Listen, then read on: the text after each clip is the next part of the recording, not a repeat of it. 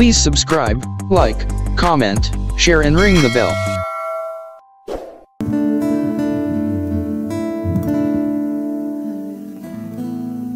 Mazmur 5 ayat 1 sampai 9. Doa pada pagi hari untuk pemimpin biduan dengan permainan suling Mazmur Daud. Indahkanlah keluhan keluh kesahku. Perhatikanlah teriakanku minta tolong, ya Raja dan Allahku. Sebab kepadamulah aku berdoa Tuhan, pada waktu pagi Engkau mendengar suaraku, dan pagi hari aku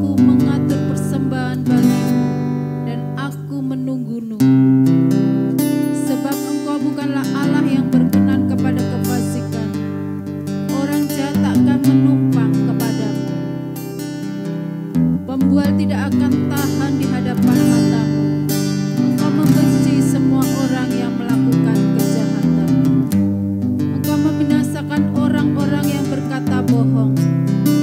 Tuhan jijik melihat penumpahan darah dan penipu. Tetapi aku, berkat kasih setiamu yang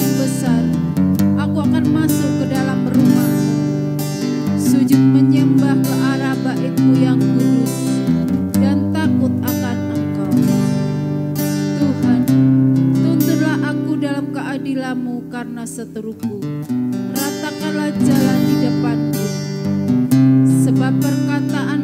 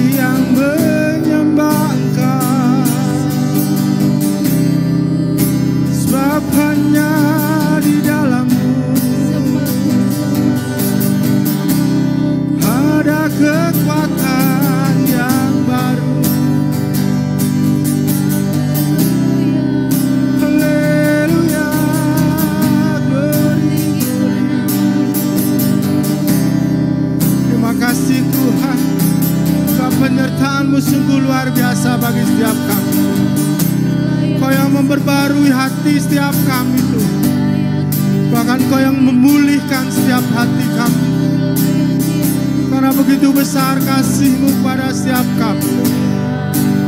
Sehingga kau, mem- kau memampukan kami.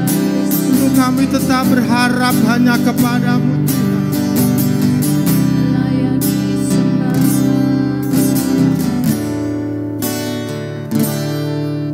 Tuhan. Namaku selalu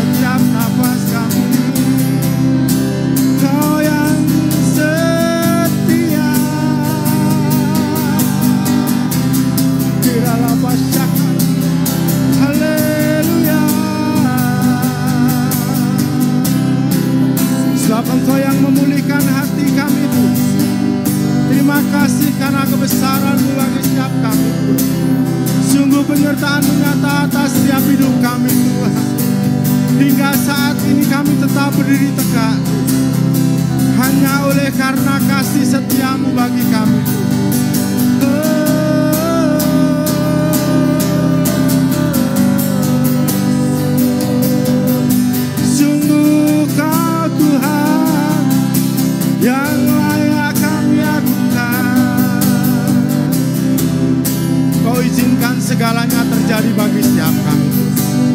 Itulah bentuk kasih setiamu kepada kami. Kau tidak memberikan cobaan bagi setiap kami yang melebihi dari setiap akal kami, yang melebihi dari setiap kekuatan kami. Terima kasih Tuhan.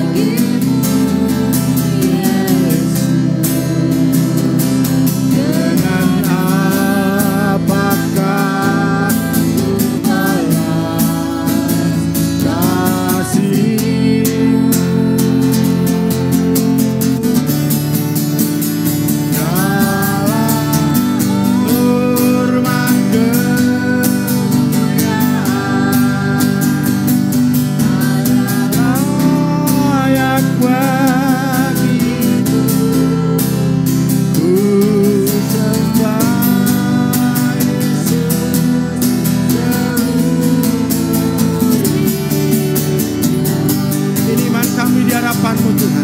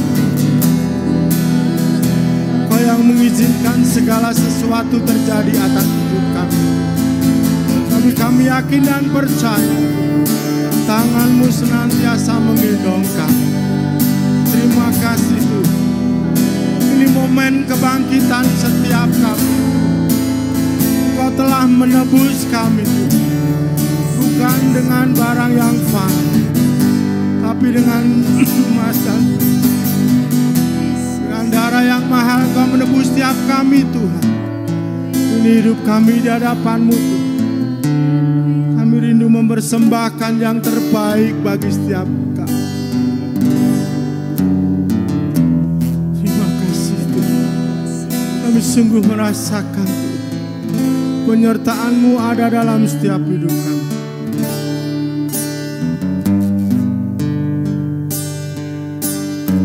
Dan kami hanya ingin mengembangkan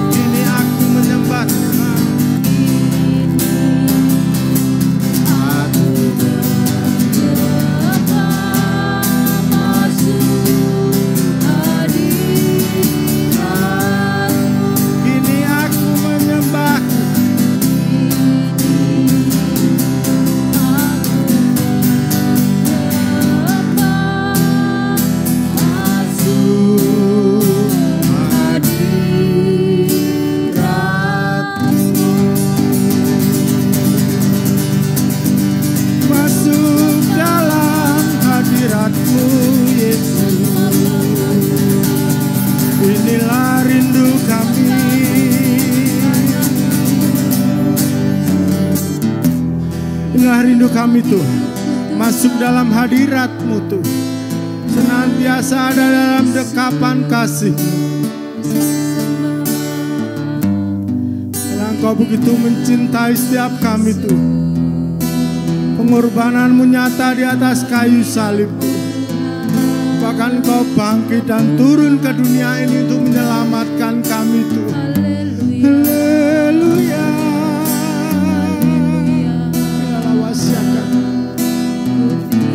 memulihkan setiap kami Tuhan.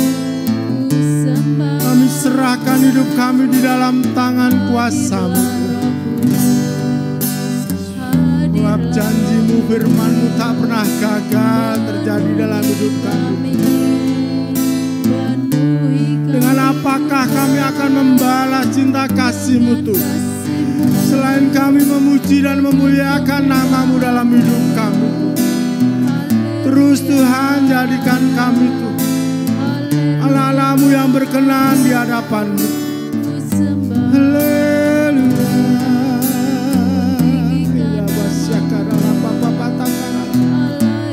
Terus Tuhan penuh setiap kami Tuhan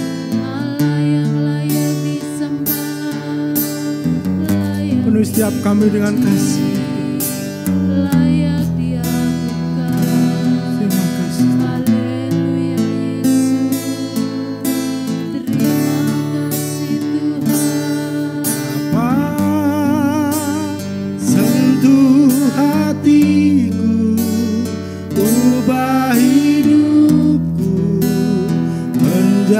Menjadi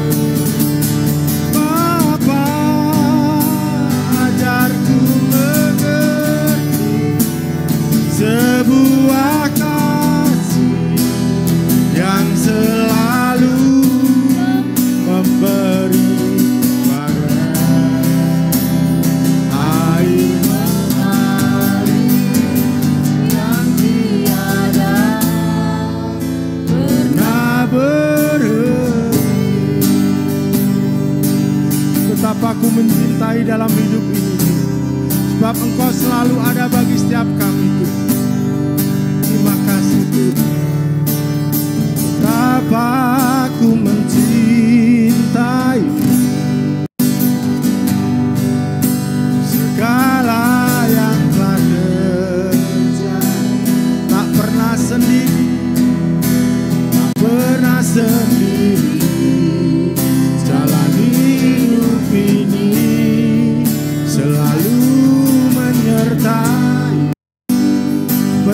aku menyadari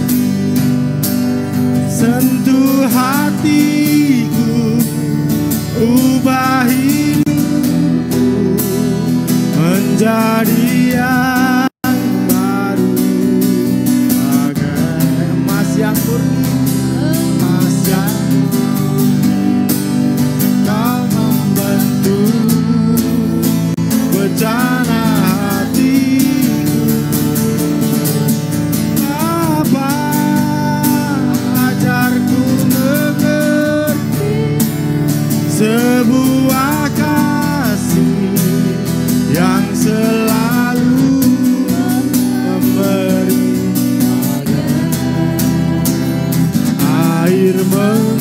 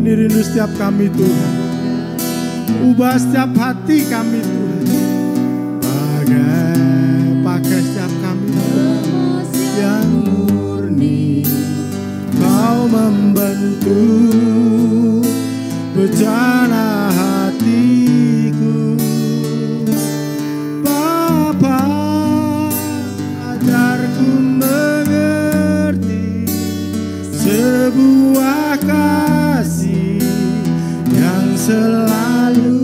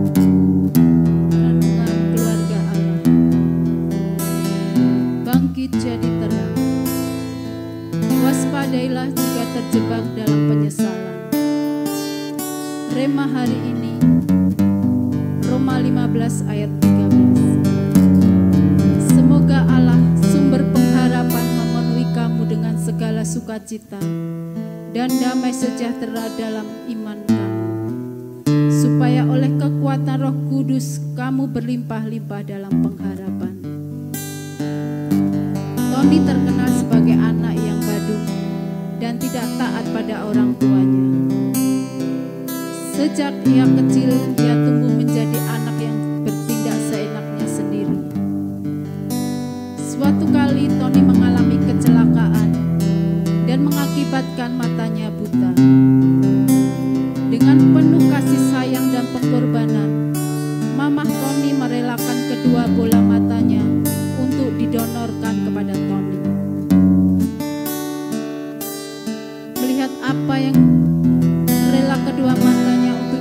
didonorkan kepada Tony, melihat apa yang dilakukan mamanya, Tony justru menyakiti dirinya sendiri karena ia menyesal selama ini telah menjadi anak yang tidak berguna. Ia menyayat-nyayat tangannya sendiri. Melihat perbuatan anaknya itu, mamanya menangis dan memohon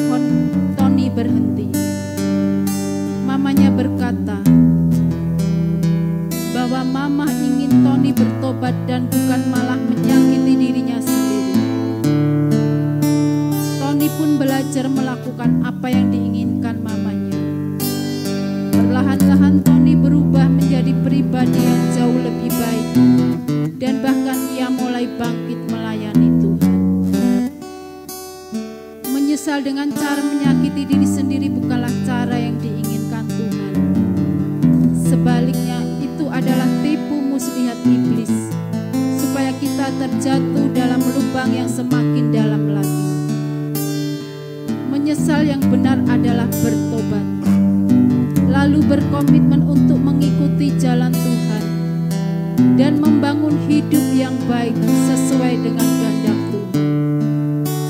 Seberapa buruk dan kotornya kita, ia siap membuka tangannya dan mencurahkan kasihnya untuk